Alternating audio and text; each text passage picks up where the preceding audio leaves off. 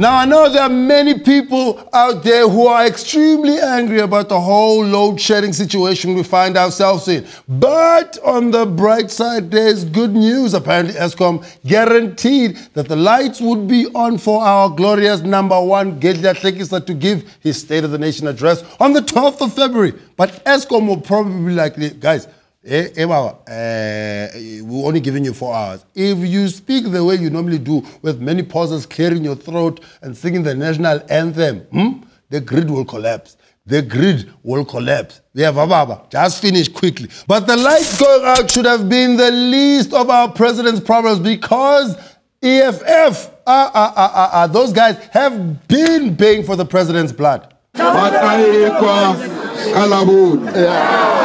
Yeah. antsotsi ya mathomo ya mo south africa ya emelela number one tsotsi rometha ka slicer tsotsi ka labone o tla re tseba botse You'd think that it would be enough to keep a man up at night, but not my president. Hmm? In response to the EFF threat, ah, the president was like, I mean, come on, what's going on here?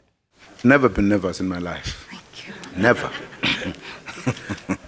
You've never, ever been nervous in your life. Ever, ever. E ever, ever. Even when the charges were coming. Ever. Even when you saw the numbers. Even when you saw the, a number of 6 million, 12 million, don't you get nervous? We've seen you, I get nervous. The government thought it was a good idea to go into social media to ask the people what topics the president should talk about during his speech during the State of the Nation. Big mistake. The most popular suggestion was to legalize marijuana, weed, the zol. Yeah, legalize. And the second most popular was they asked the president to resign. How bad have you stressed out the country, Mr. President, where all we want is for us to smoke weed and for you to leave? You know those ones? No, no, don't even pay back the money.